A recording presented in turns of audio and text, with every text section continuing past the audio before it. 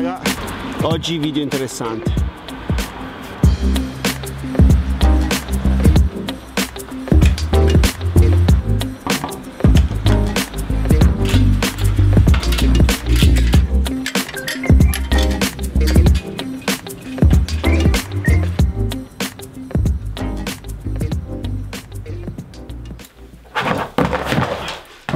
Ciao raga, in tanti mi avete chiesto sul canale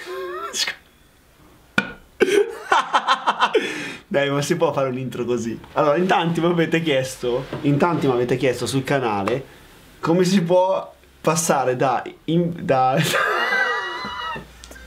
Bene raga, dopo essermi quasi ucciso per fare la intro e strapparvi così un sorriso Sfera e basta. Oggi vorrei parlarvi di come ho fatto a passare da operaio ad imprenditore. Reputo la mia storia abbastanza interessante da condividerla con voi, quindi partiamo subito.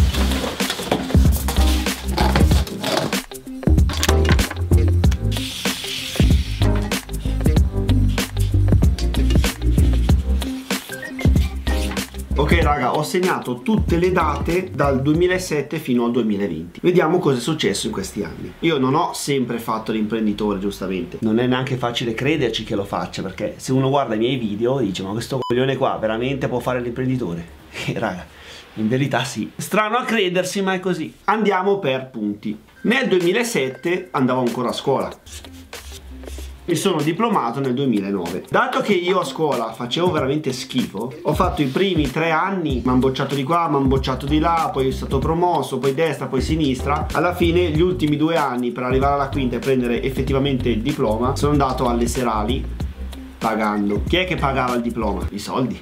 Eh, e i soldi dove li facevo? Lavorando di giorno. Per pagarmi la scuola serale ho iniziato a lavorare nel 2008. Il primo lavoro che ho fatto è stato con Randstad, una ditta qua vicino, facevo i decespugliatori. Finito quel adempimento lì, sono andato a lavorare per Adecco, che conoscete tutti, sia una che l'altra sono agenzie interinali. Quindi tra Randstad e Adecco sono andato avanti un annetto, un annetto e mezzo. Nel 2009 ho preso il diploma, Adecco mi aveva abbandonato dall'ultimo lavoro e sono andato a lavorare per un'altra ditta che vabbè adesso non dirò il nome ma inizia con la M e vabbè e qui sono stato lì anche un po' di mesi anche lì e va bene. In quest'ultimo lavoro facevo i fondi dei portatovaglioli, quelli che ci sono al bar insomma un lavoro plastico di stamperia e assemblaggio vabbè niente di che. Finito questo lavoro qui succede una cosa che sconvolge un po' tutto. Mio padre aveva un'azienda di pulizie. Cioè lui faceva elettricista poi ha detto vabbè dai vado a fare le pulizie che mi sono rotto di lavorare e fare l'operaio. Ha aperto la partita IVA facendo le pulizie. Dopo dalle pulizie è passato a fare le recinzioni e sulla scia delle recinzioni comunque della piccola impresetta che fa recinzioni comunque cantieri fuori quasi edili. Quindi preso il diploma e finendo l'ultimo lavoro che ho fatto, ho detto, vabbè, vado a lavorare da lui. Quindi dal 2010 al 2013 lavoravo per mio padre. E qui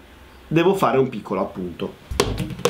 Allora, in questi tre anni che ho lavorato per mio padre, le cose sono andate abbastanza bene all'inizio. Dopodiché è subentrato un po', sai, quel rapporto genitori-figli che non sempre va bene. Io sono uno che vuole fare un sacco di cose, vuole fare il passo più lungo della gamba, vuole puntare sempre in alto, decide di fare questo, lo fa, se sbaglia lo rifà, lo ripete migliorando, insomma tutte delle, delle situazioni che a me non mi andavano più giù, no? Perché comunque se qualcuno mi blocca, io scoppio, cioè non ce la faccio, no? E quindi quindi ho detto, vabbè, eh, all'ennesima litigata, all'ennesima sfuriata chiamiamola così, ho deciso, ragazzi, qua non va più bene, io voglio farmi una mia carriera, voglio crearmi qualcosa di mio, non ce la faccio più, stop. In quel momento, raga, è iniziata la mia prima fase del passare da operaio ad imprenditore, perché io quando lavoravo per mio padre ero operaio. Yeah, io non faccio operaio. A quel punto lì ho detto, ok, non voglio più fare l'operaio, non voglio più lavorare sotto qualcuno, in questo caso ero sotto mio padre, cosa faccio? Come faccio a fare l'imprenditore? Che non ho niente. Cioè io lavoravo da 3-4 anni, non è che avevo via 50.000 euro per poter aprire un piccolo capannone, fare tot servizi, comprare tot materiale, insomma, cioè, raga, in modo totalmente casuale ho pensato, sai cosa faccio? Provo a vendere calcio balilla Proprio così. Voi penserete che è uno scherzo, ma è successo veramente così. Ok, ma come fai a vendere calcio balilla che tu non hai neanche una tua partita IVA? Li vendi in nero? No, perché non si può. Le ditte che producono i calcio balilla te li venderanno a te che non hai la ditta? No. E quindi? E quindi ho risolto in questo modo. Ho trovato due persone che mi prestassero la loro partita IVA e in cambio io tutto l'utile che creavo lo dividevo esattamente in due con loro. Quindi a loro entrava un po' di utile senza far niente. Io lavoravo con partita IVA, la loro out.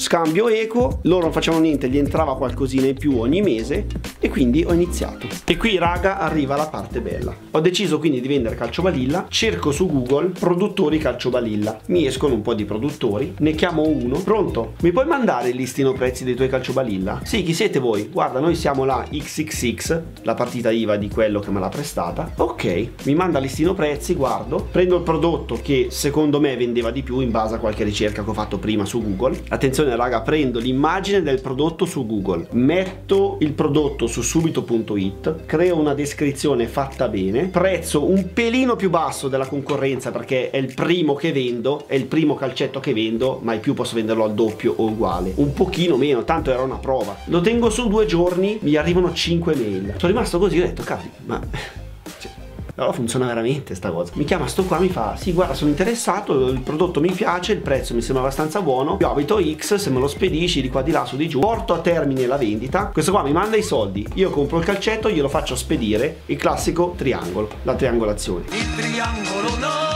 pam pam pam, utile 80 euro. Io praticamente ho creato i miei primi 80 euro di utile. Dopo, vabbè, è vero, su quegli 80 euro andrebbero pagate le tasse e tutto, però erano fatturati perché io ho fatto questa vendita con partita IVA. E da lì ho iniziato, raga. Con quegli 80 euro io ne ho presi metà, glielo dati al tipo. L'altra metà, una settimana dopo, io avevo già aperto il sito con tutti i calcetti che vendeva quella ditta lì, con tutti i prezzi concorrenziali. Ho iniziato proprio a arrivarmi le richieste, questo, quell'altro, su, giù, destra, sinistra. Il primo anno, vabbè, non è tanto, ho venduto più o meno una settantina di calciovalilla. Voi direte, eh, ok, poco, però io ho iniziato con 0 euro e questa qui è stata la mia storia. Praticamente io da lì poi ho iniziato, sono andato avanti con gli anni, quindi torniamo là. Raga, qui ho venduto il mio primo calcio vanilla. Qua ho aperto il mio sito e piano piano, piano piano sono andato avanti. Raga, io poi non mi sono fermato ai calcio balilla perché ho visto che la cosa funzionava e nel sito ho iniziato a mettere i ping pong, i biliardi, monopattini, tappeti elastici, casette di legno, altalene, insomma ho iniziato a mettere dentro una valanga di prodotti, ho chiamato molti più fornitori e la cosa piano piano, piano piano si stava ingrandendo, no? Ho iniziato a capire come si facevano le pubblicità su Facebook, le pubblicità su Google, ho aperto altri due siti per iniziare a vendere anche in modo più grosso, fino fino ad arrivare al punto che nel più o meno 2018 altra svolta. Nel 2018 cosa ho fatto? Ho deciso di aprire la mia attività assieme a un'altra persona. Qua in verità ho fatto un errore. Però vabbè con gli errori si impara. Praticamente il fatturato era diventato talmente grande che a me non conveniva più dare metà utile alle altre due persone che mi prestavano la partita IVA. Quindi io qui ho aperto la mia partita IVA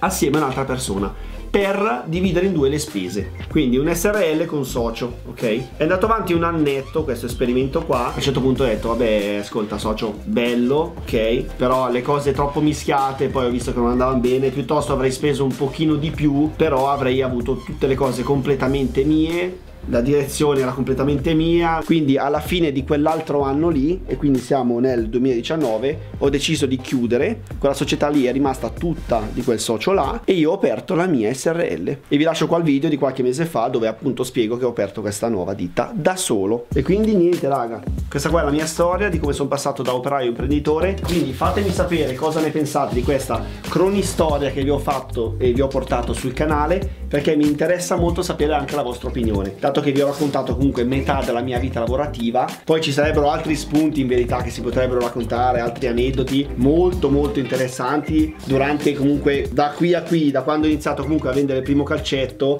a quando ho aperto la mia SRL sono successe tante cose. Alcune anche molto curiose da riprendere iniziare con magari un altro video. Vi sembrerà strano magari a chi mi vede per la prima volta che uno che fa il pirla così sul canale possa fare l'imprenditore però vi assicuro che è veramente così. Niente quindi raga ci vediamo la prossima volta con un nuovo video. Ciao a tutti. Ciao raga!